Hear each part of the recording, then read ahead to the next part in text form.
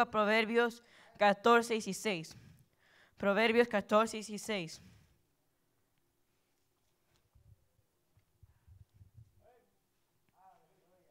Y cuando tengan, responde con el amén de resucitados.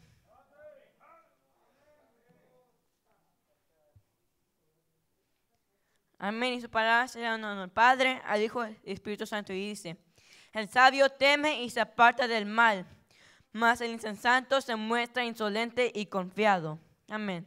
Vengamos en palabras de oración.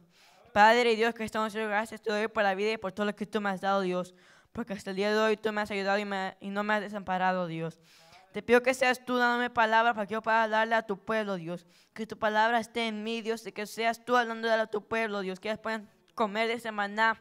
Y que primeramente la palabra me dé a mí antes que a ellos, Dios. Porque yo soy el predicador y la Biblia me dice a mí que el predicador predícate a tú mismo, Dios. Amén y amén. Y su pueblo dice, el que no dijo amén, que no se siente. Amén.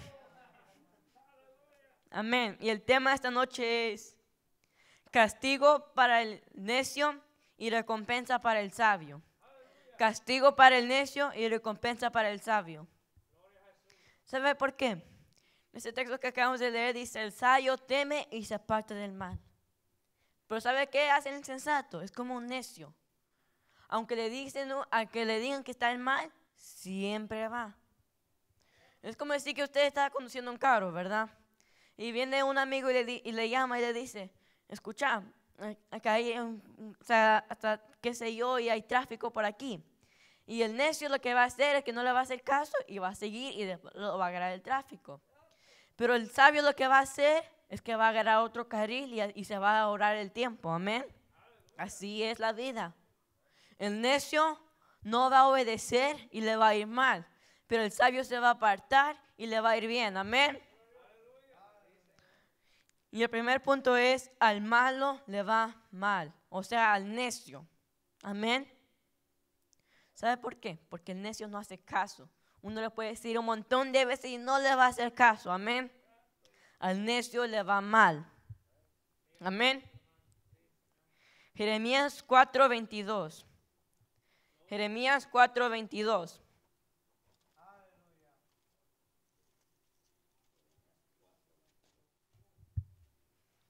Dice, miré a la tierra y he aquí estaba sola y vacía y los cielos y no había en ellos luz. Déjame ver si lo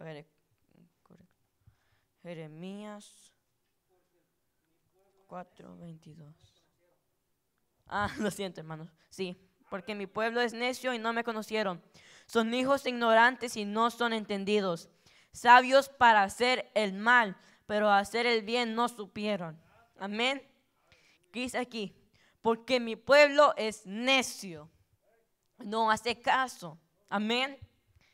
No me conocieron. Cuando dice no me conocieron, no conocieron a Jehová. No conocieron a Dios, no conocieron a Jesucristo que les dio la vida. Amén. Aunque en ese tiempo no, Cristo no había muerto todavía, pero sabemos que Dios y Jesucristo y el Espíritu Santo son uno, tres en uno. O sea que cuando hacemos referencia a Jesucristo también estamos haciendo referencia a Dios y al Espíritu Santo. Amén. Dice la Biblia que si nosotros conocemos al Padre, también lo conocemos a Jesucristo. Amén. Entonces sabemos que está lo mismo.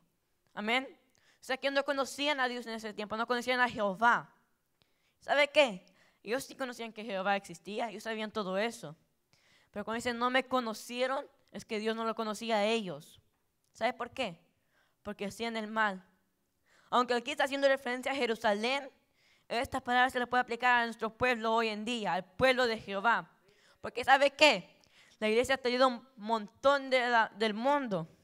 Ha traído modalidad, ha traído música del mundo, vestimentas del mundo. Quieren vestir como el mundo, quieren hablar con el mundo, quieren hacer como todo el mundo. ¿Y sabe qué? Ahora no existe diferencia entre una iglesia y el mundo. Amén. Entonces, eso, la iglesia que hacen eso no conocen a Jehová, porque Dios no los conoce a ellos. ¿Qué dice la Biblia? Que en, aquel día le dirán, Jehová, Dios, pero en tu nombre no hicimos salir, echar fuera demonios, no sanamos a enfermos, no hacemos aquí que allá. ¿Y qué le va a decir Jesucristo? Apartados de mí, hacedores de, mamá, de maldad, no os conozco. Así de fácil. Porque si, porque si Dios no lo conoce a usted, usted no conoce a Dios. Así. Porque conocer a Dios significa obedecerle. Entonces Dios se va a fijar en usted y lo va a conocer. Dios no lo conoce a todos nosotros, pero Él quiere que nosotros lo conozcamos a Él. No solamente saber de Él, sino obedecerle. Amén. Dice, son hijos de, son hijos ignorantes. Ahí dice, eh, sabemos que Israel conoce de Dios, ¿verdad? Sabemos todo eso, pero ellos ignoran las consecuencias. A veces sí. Por eso que les fue mal a Israel, porque ignoraron las consecuencias que tenía. Las consecuencias que implicaba dejar a Jehová, dejar a Dios. Y por eso dice que son ignorantes, porque no conocían. Sabían que existía un Dios, pero ignoraban las consecuencias. Y así hacemos a veces nosotros. Sabemos que existe Dios, oramos todas las noches, ayunamos todos los días, qué sé yo. Pero vamos a estar haciendo pecado durante ese tiempo. ¿Sabe qué? Hacer oración y ayunar no lo va a salvar. Porque eso se llaman obras. ¿Y sabe qué? La palabrería tampoco lo va a salvar. ¿Sabe por qué? porque para hacer algo necesita obrar y, y querer hacerlo. Yo, no creo que yo me pondría a predicar aquí si yo no quisiera. A mí de pequeño me gustaba predicar y ¿sabe por qué? Porque antes de predicarle a usted y a mí, la palabra me cae a mí primero. No puedo hablar algo yo que a mí no me ha tocado. Amén. Y yo sé que Jehová no, no, no es bueno con el impío. ¿Sabe por qué? Porque he escuchado a bastantes personas que les ha ido mal por ser necios, por ser ignorantes contra Jehová. Y al menos que usted quiera aprender las malas, no le doy consejo que siga esos caminos. ¿Sabe qué? Hay libre albedrío y usted tiene todo el derecho de seguir esos caminos. Pero si quiere aprender las malas, que aprenda las malas. Pero a Jehová se le va a temer. Amén. Y no son entendidos. Hijos ignorantes y no son entendidos no entienden la palabra. Les predican y no entienden. Les hablan y son necios. Ignoran las consecuencias. ¿Para qué paró, para qué paró Jehová profetas? Para hablarles la palabra y lo que venía. ¿Sabe qué? A mí no me gustan las palabras, las prédicas que son así, suavecitas, que, ah, aquí callado y tú, y tú tienes aquí libre albedrío y tú puedes hacer lo que tú quieras y hasta la puerta te quieres salir si tú puedes. No la palabra tiene que ser directa y fuerte. ¿Sabe por qué? Porque la palabra de Dios va a doler. Y eso es lo que a mí me gusta. Cuando la palabra de Dios es directa. Que alguien no va a ir ahí rodeando así como a ver como que lo atrae con su palabrería. No. Amén. La palabra de Dios tiene que ser fuerte para que, para que, para que haga así su efecto. Amén. Porque de qué va a servir hablar y hablar y hablar y hablar. Y al, final del cabo, los que quedaron ahí, los invitados, se arrepintieron de aquí y allá, pero no conocen a Jehová. No lo conocieron porque la palabra no les habló. Lo hicieron por la mucha palabrería. Para predicar no necesita un montón de palabrería, se necesita sabiduría de Jehová. La sabiduría del Altísimo. ¿Sabe por qué la sabiduría de lo alto? Porque esa sabiduría es pura. Y sigamos leyendo y dicen, sabios para hacer el mal. Sabios para hacer el mal. O sea que ellos sabían hacer el mal más que bien. No sabían hasta hacer de bien. Eran sabios para hacerlo. Pero tenían sabiduría de lo alto. No, ¿verdad? Hay dos sabidurías. La sabiduría humana, la que usted, a la que aquí trajo este micrófono, la que trajo esa cámara, lo que trajo aquí todo. Y también está la sabiduría de lo alto, lo que le habla a uno. Pero ellos tenían sabiduría humana y esta sabiduría humana es para hacerlo mal. Nosotros necesitamos sabiduría de lo alto. Amén. Ellos tenían sabiduría, pero para hacerlo mal. Necios. ¿Sabe qué dice la Biblia?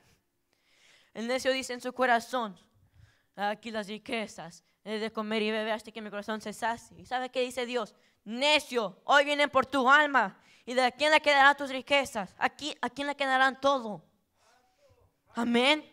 Necio, hoy vienen por ti. ¿Y sabe qué? Si me quiere decir a mí que Dios no existe, vaya, busque tierra, cielo y mar. Busque lo alto y lo bajo. A ver si encuentra el cadáver de Jesucristo. Y si no lo encuentra, acepte que Cristo vivió, que resucitó. Porque su cadáver no quedó aquí. Él ascendió al cielo. Y Él tiene las pruebas. Porque con su sangre hoy soy limpio yo. Porque con su sangre somos limpios hoy. Amén. Pero el necio es lo que no entiende. El necio no entiende eso. El necio no entiende que por Jesucristo es que hablamos. El necio no entiende que por Jesucristo es que vivimos. Vivimos por Él y morimos por Él. No hay diferencia. Si vivo yo, voy a vivir para predicarle. Y si muero, muero por Él. Eso es lo que dijo Pablo. ¿Sabes por qué? Pablo sufrió. ¿Y sabe qué? Él sufrió más que nosotros. Mira la silla en que estamos sentados ahí, bien, bien así cómodos, ¿verdad? Y mire Pablo, él no tan siquiera tuvo una casa para poder quedarse. ¿Y sabe qué? Las mismas condiciones que Pablo están viviendo muchos hoy. Aquí en Estados Unidos tal vez no, pero ahí en África los persiguen.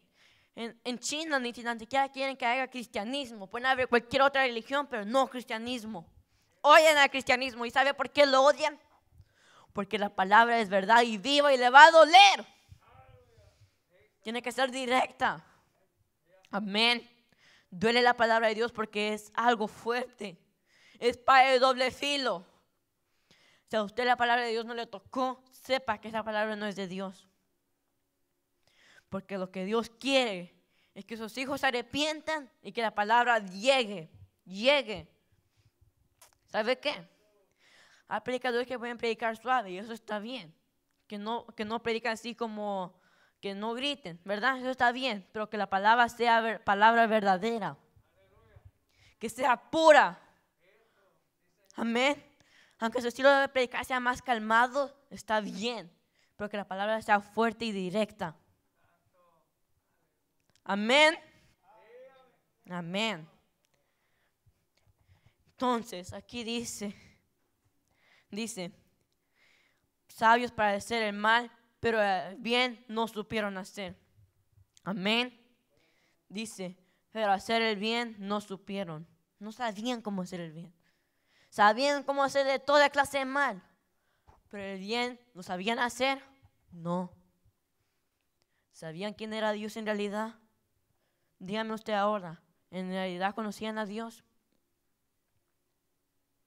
en realidad conocían a Dios y realidad tenían una relación con Dios. Cuando tan siquiera sabían lo que era mal y verdad, lo malo y lo bueno. Porque en esos tiempos lo bueno era lo malo. Lo bueno era lo malo para ellos. Hacer el mal era bueno para ellos. Pero hacer lo bueno era bueno, eh, hacer el bueno era para bueno para ellos, no. Darle aunque sea algo al pobre era malo predicar era malo, ¿va? imagínense. Apedrearon a profetas antes por predicar. Yo predico aquí, nadie me anda tirando una piedra. Bien cómodo, ¿verdad? Parece aquí predica y nadie tira una piedra. Pero Cristo la baja a uno. Amén. Ellos predicaron, nos apresaron, nos tiraron a la cárcel, qué sé yo qué le hicieron. Y siguieron predicando. Ahora dígame usted, ¿usted tiene aguante para hacer eso? El necio no va a tener. El necio lo que va a hacer es, rendirse. El necio es un principio que entró a la iglesia, no tuvo corazón para seguir adelante. Eso es el necio. El necio, aunque se arrepintió y todo, en su corazón adentro no tenía ni siquiera ganas de hacerlo. Porque ¿sabe qué? El necio lo que va a hacer va a escuchar la palabra, arrepentirse y después se la va a salir por el otro oído. No se queda. No le importa. No conoce a Dios.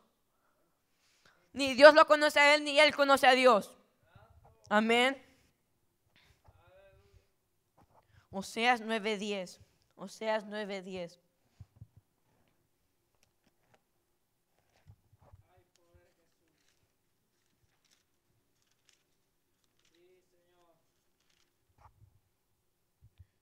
Dice,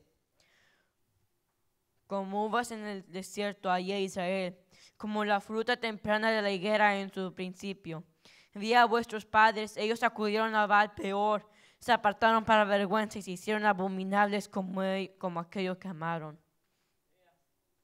¿Sabe qué? Dicen, y se hicieron abominables como aquellos que amaron. ¿Y sabe lo que están llamando abominable? A peor. ¿Y sabe qué? Aunque ahora usted no adora a peor, no adora a Baal, pero adora a la Virgen María. Adoran al Cristo negro, qué sé yo que adoran. Adoran al dinero. No pueden gastar ni un dólar. Eso es lo que adoran hoy. Se hicieron tan abominables como eso.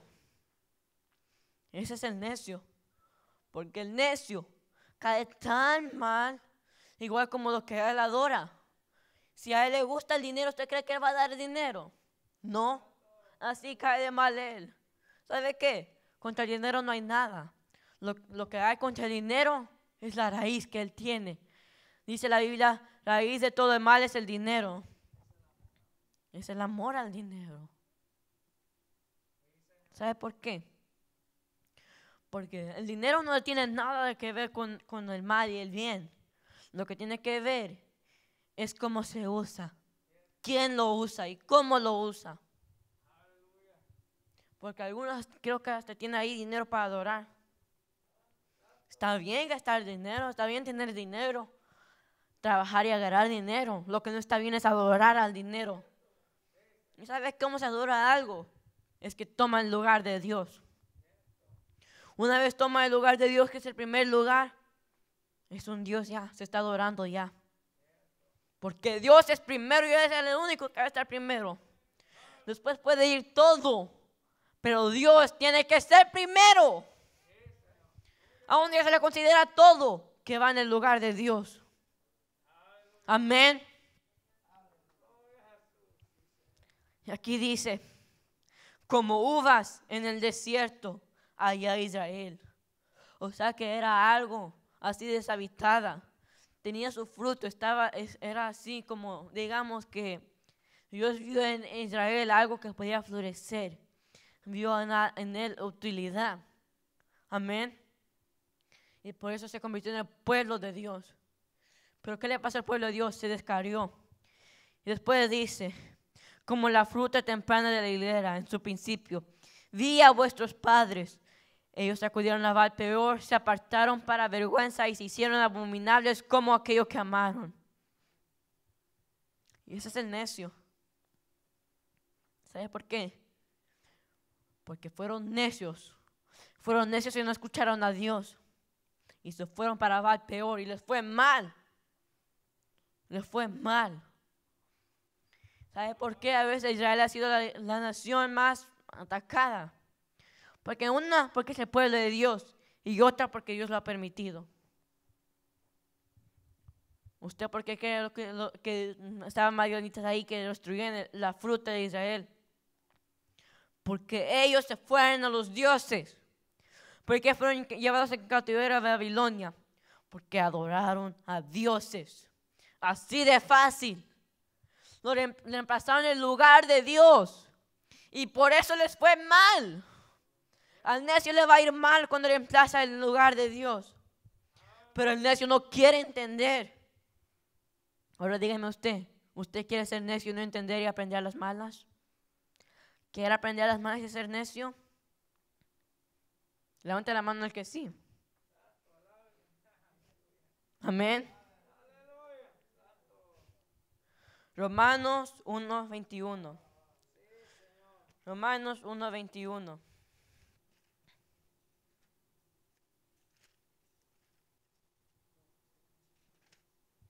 Dice, pues habiendo conocido a Dios, no le glorificaron como a Dios, ni le dieron gracias, sino que se envanecieron en sus razonamientos, y su necio corazón fue entenebrecido. Dice ahí, y su necio corazón su necio corazón. Ya vio, ¿verdad? Su necio corazón. Si usted quiere primero, para empezar, si usted quiere ser alguien de bien, su corazón tiene que ser de bien. Usted puede fingir y todo. A mí me puede engañar, puede engañar al pastor, puede engañar a mi hermano Fernando, puede engañar a quien sea, pero a Dios no se le engaña. Necio corazón. ¿Sabe qué? El necio piensa que puede hacer todo y que nadie lo ve. Pero ya está uno que lo ve todo. En el cielo, al bajo de mar, todo lo ve. Se puede meter en medio de toda una montaña y ahí lo va a ver Dios. Puedo cavar hasta el infierno, ahí me va a ver Dios. Amén. Dios lo ve todo. Todo, todo, todo. No entiendo por qué el, necio dice que no hay Dios. ¿Sabe qué dice el Salmo? Dice el necio en su corazón, no hay Dios. Necio. No es entendido. Ignorante. ¿Y sabe qué? Yo no lo llamo así, lo llama así la Biblia. Lo leímos en Jeremías, ¿verdad? Mi prueba está aquí. Yo no lo puedo venir a hablar algo que yo no he leído. La prueba de todo está en la Biblia. Quiere predicar, lea la Biblia y prepárese. Se prepara antes de andar uno aquí hablando. ¿Usted cree que yo voy a venir aquí a hablarles palabras vacías, sin fundamento? ¿Sabe qué? Puede agarrar a alguien sin fundamento y decirle cualquier cosa que usted quiera, pero sin evidencia es todo vacío, vacío, vacío, vacío. Amén. Dice 1 Corintios 15, 36.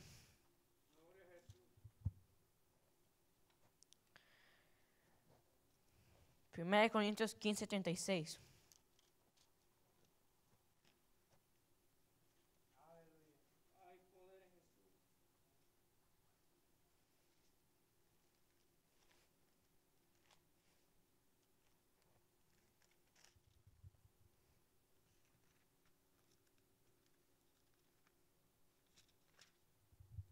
Dice, necio, lo que tú siembras no se vivifica, sino muere antes. Así de mal va el necio. Necio, lo que tú siembras no se vivifica, sino muere antes. Así de mal. Al necio le va a mal en la vida, porque no entiende palabra. Necio, lo que tú siembras no se vivifica si no muere antes. Amén. Dios no va a prosperar la mano de un necio que no entiende palabra de Dios. Amén. El trabajo de un necio, ¿sabe dónde se va el trabajo de un necio? Todo el dinero que ha trabajado por se va al alcohol, a las borracheras, a las drogas, qué sé yo. Ahí se va el dinero de un necio el trabajo de un necio. Ahí se va. Lo que tú siembras no se vivifica. ¿Sabe qué? Si, lo tomamos hoy así, hoy así como vamos hoy, lo que siembra un necio sería como, digamos, el trabajo.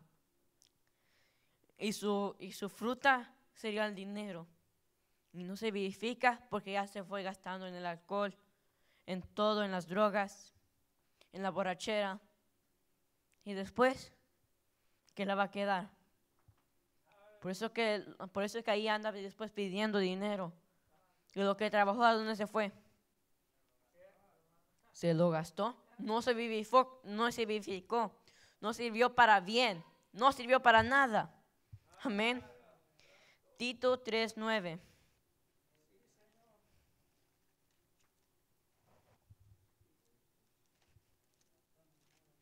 Tito 3.9 dice, pero evita las cuestiones necias y genealogías, con, contenciones y discusiones acerca de la ley, porque son vanas y sin provecho. ¿Qué dice al principio? Pero evita las cuestiones necias. Amén. Y después que dice al final, dice, porque son vanas y sin provecho ¿Sabe por qué evitar las cosas necias? Porque por más que usted le hable a un necio, no va a entender. Va a ser vano y sin provecho. Usted nunca va a estar gastando su tiempo que le pudo haber servido en algo. Porque los necios nunca le van a hacer caso. Los necios aprenden para las malas. Y a veces ni a las malas aprenden. Amén. Entonces, evita, esas, evita esas, esas personas necias que no van a entender. Porque después, son, porque después van a ser vanas y sin provecho. No le va a ganar nada a un necio. Sea sabio y apártese del necio. Porque al necio no le va a ganar nada. Amén. Ni sean contenciones ni discusiones. Una discusión siempre va a terminar a favor de un necio. Porque un necio no se va a rendir. Un necio no va a entender palabra. Y va a aprender hasta las malas. Hasta que le haya caído todo encima va a aprender. Amén.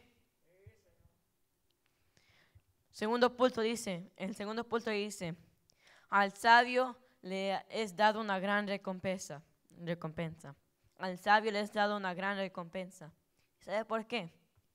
Porque el sabio es el que teme a Jehová. Pero yo estoy hablando de una sabiduría de lo alto, no una sabiduría humana. Una sabiduría que proviene de Dios. Porque la sabiduría humana la va a servir para el mal. Pero yo estoy hablando de la sabiduría de Dios. Amén.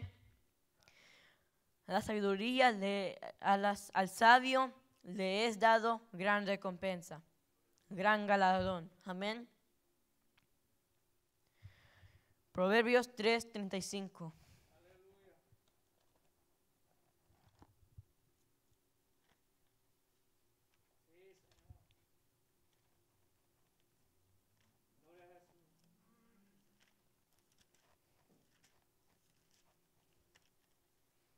3:35 dice, los sabios heredarán honra, mas los necios llevarán ignominia. Dice, los sabios heredarán honra. ¿Y qué es lo que más quiere el hombre? Quiere honra, quiere fama, quiere todo.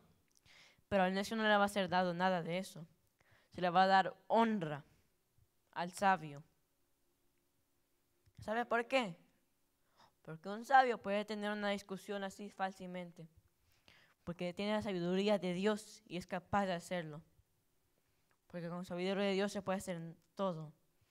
Mi sabiduría, todo es posible con Cristo. Todo lo puedo en Cristo que me fortalece. Amén. El sabio puede tener cualquier cosa con la ayuda de Cristo. Amén. Amén. Y sabes, se se lo voy a demostrar. Se lo voy a demostrar que el sabio puede parar cosas grandes. Amén. Eclesiastés 9, 3, 13. Eclesiastés 9, 13.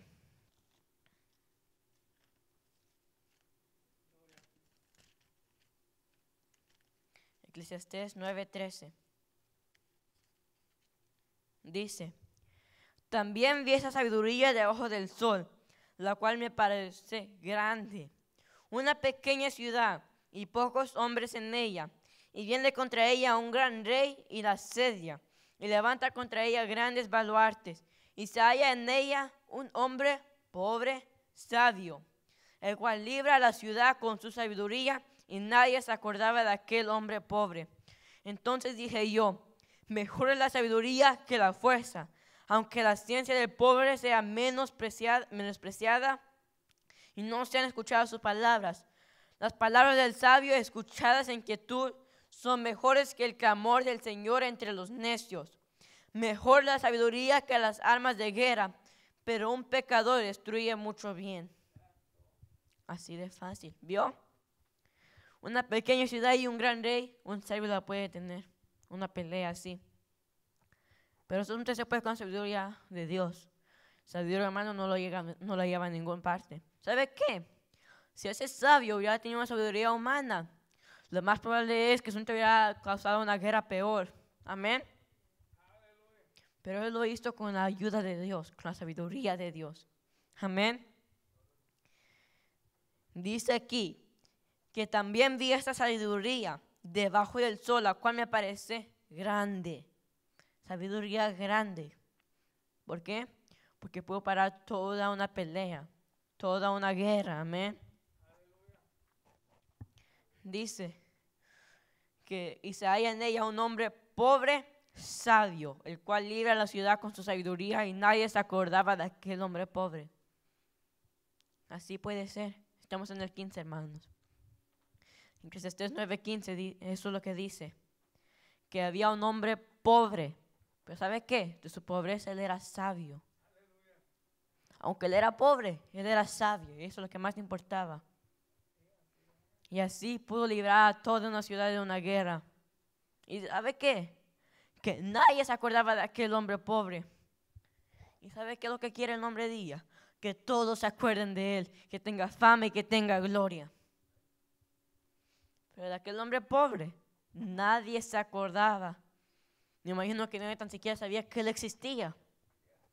Nadie sabía que aún había nacido ni que nada sabían de él.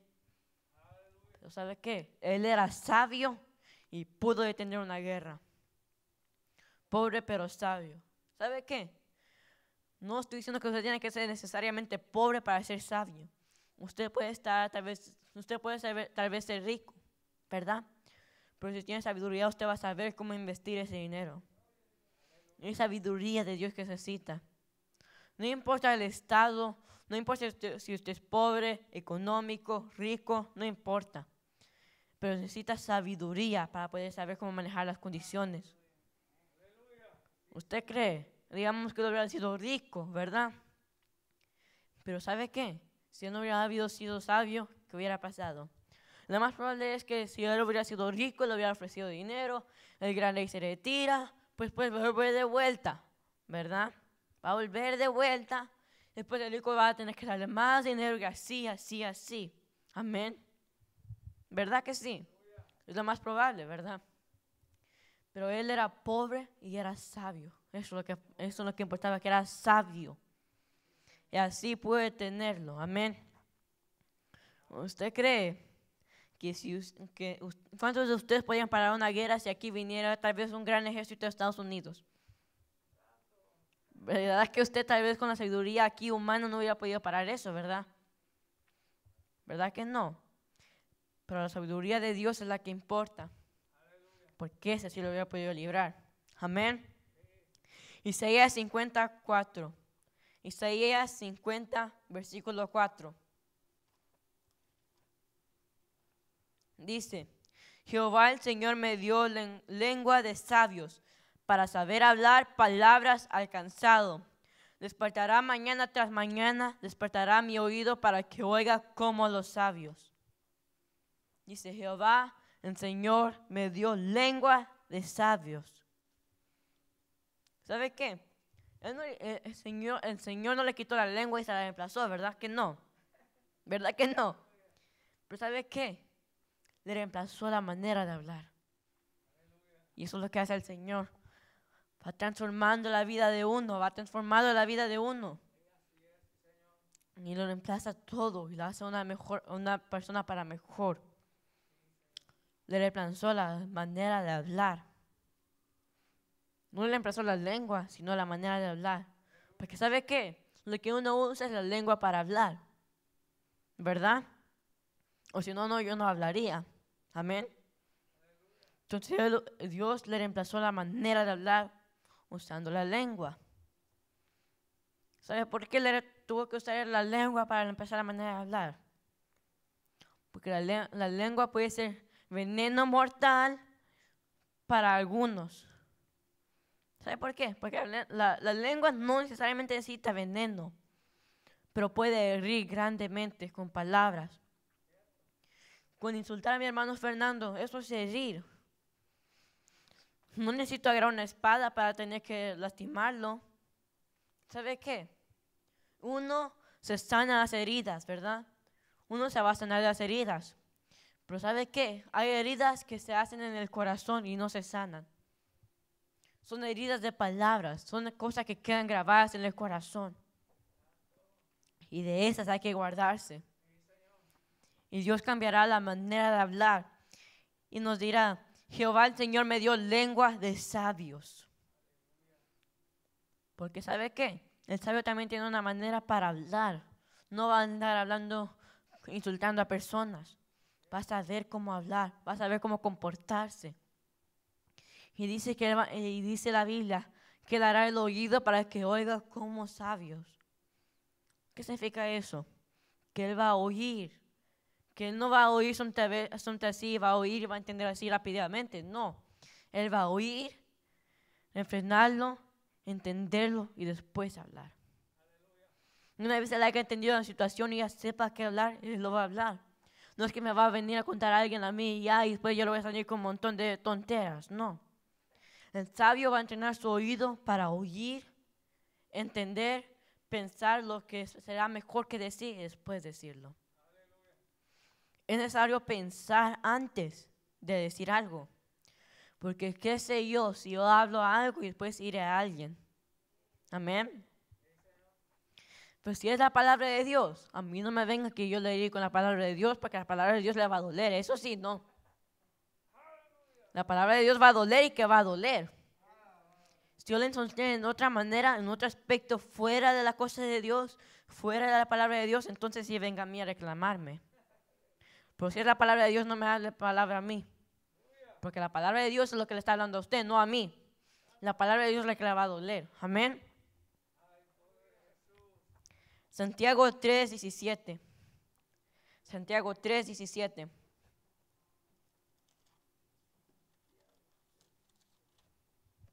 dice, pero la sabiduría que es de lo alto es primeramente pura, después pacífica, amable, benigna, llena de misericordia y de buenos frutos, sin incertidumbre ni hipocresía. Así es la palabra de Dios. Dice, pero la sabiduría que es de lo alto es primeramente pura Primero es pura, o sea que es pura, es limpia. Amén. Es pura, o sea que es limpia. Después es pacífica, o sea que hace paz, crea paz. Amén. Después dice, es amable, esto es amable, o sea que va a crear amor. Va a crear paz, va a crear amor y es pura, o sea que es sincera limpia, es sincera. Amén. O sea que es pura, pacífica, amable, benigna, llena de misericordia y buenos frutos. Misericordiosa, que enseña misericordia, que es amable, que es pacífica, que es pura, que es limpia y que es sincera. ¿Y quién no quiere que alguien sea así con usted? Dígame a mí que si usted no quiere tener un amigo que es sincero, amén. Si uno quiere tener un amigo que es amable, que es pacífico, que es misericordioso y que tiene todo bueno fruto. Porque esa es la sabiduría que Dios. ¿Y sabe qué? Cualquiera puede tener esa sabiduría por temer a Jehová. Amén. Y ahora vamos a entrar a ese, a ese punto.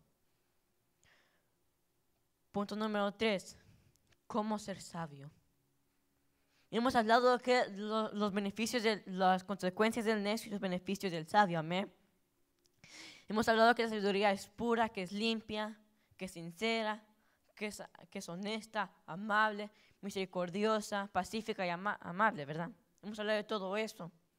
Pero ahora, ¿cómo alcanzar esa sabiduría? ¿Y sabe qué? No es cuestión de estudiar tanto. Es un poco fácil, fíjese. ¿Sabe cómo? Proverbios 3, 17. Proverbios 3, 7, amén. Proverbios 3, 7. Amén, Proverbios 1, 7, hermanos. Proverbios 1, 7, lo siento. Proverbios 1, 7. Dice, el principio de sabiduría es el temor de Jehová. Los insensatos desprecian la sabiduría y la enseñanza. ¿Cuál es el principio de la sabiduría? El temor a Jehová. Quiero que les quede claro algo. Temor a Jehová, no miedo a Jehová. El temor de Jehová es cuando uno teme hacer el mal. Amén. Cuando uno tiene, está dudoso de hacer el mal. Amén. Que no, tiene, que no quiere hacer el mal. Ese es el temor de Jehová. El miedo a Jehová es cuando usted tiene miedo a Jehová. Diferentes cosas, ¿verdad? El temor de Jehová es el temor de hacer lo malo.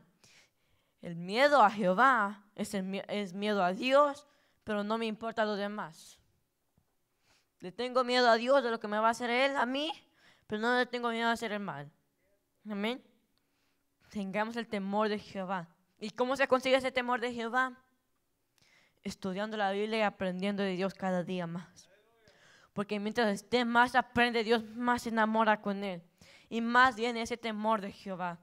Temor a ver cosas malas, temor a decir cosas malas, temor a comportarse de manera mala, temor a hacer cosas que no edifican.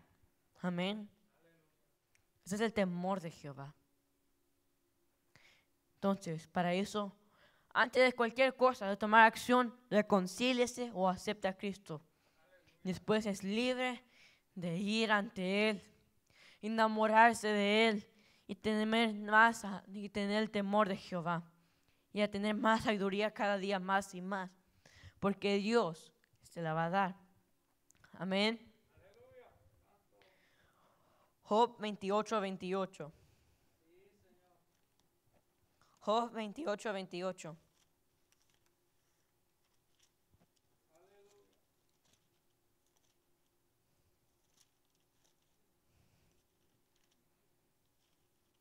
Veintiocho, veintiocho. Amén.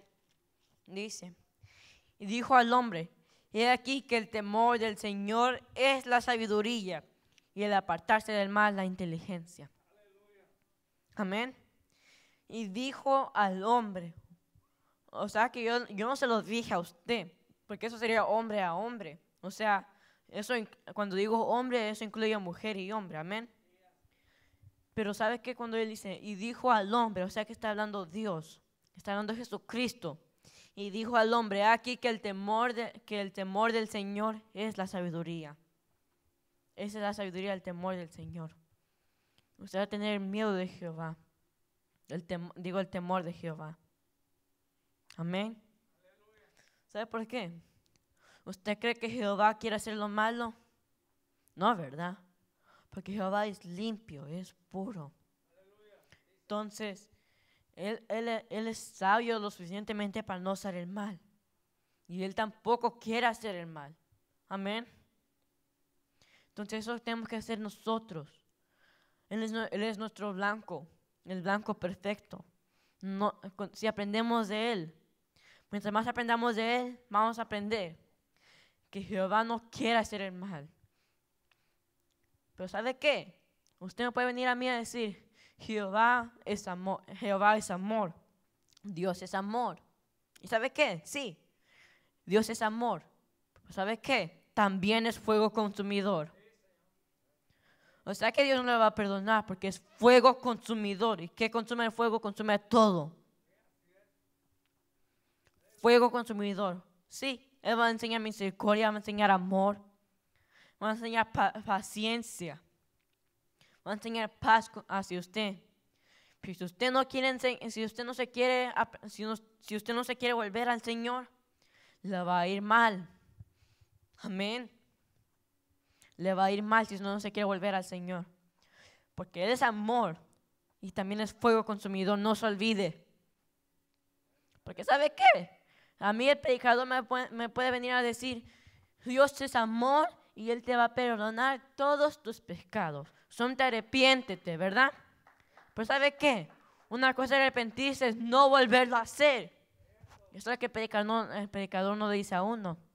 Que parte de arrepentirse es no volverlo a hacer. Amén. Y entonces viene el fuego consumidor, lo que la va a consumir a uno que la va a hacer arrepentirse de sus malos caminos. Amén. Entonces, 2 Corintios 1:12.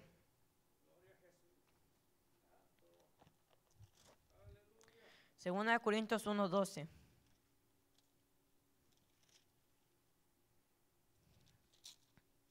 Dice, porque nuestra gloria esta, es esta, el testimonio de nuestra conciencia que con sencillez y sinceridad no con sabiduría humana, sino con la gracia de Dios.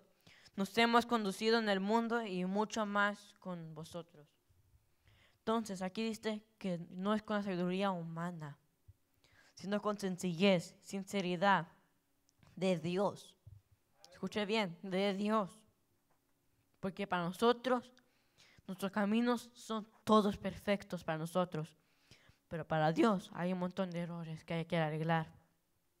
Entonces, esto de Dios, sencillez y sinceridad de Dios, no con sabiduría humana.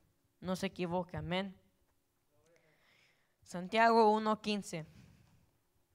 Santiago 1.15. Dice, entonces la concupiscencia después que... 1.5, perdón, 1.5. 1.5 dice, y si alguno de vosotros tiene falta de sabiduría, pídala a Dios, el cual da a todos abundantemente y sin reproche, y le será dada. Y si alguno tiene falta de sabiduría, pídala a Dios. Pedir a Dios sabiduría, y Él se la va a dar, y abundantemente. Amén. Proverbios 2.6. Proverbios 2.6. Y con esto termino, amén. Ya el tiempo ha avanzado. Proverbios 2, 6.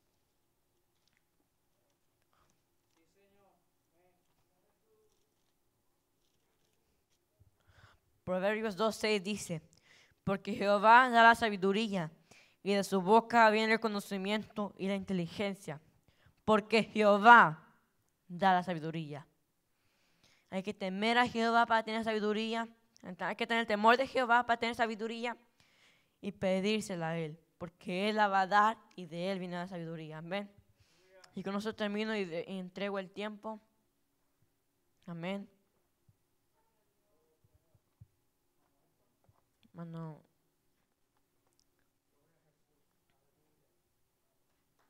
Amén.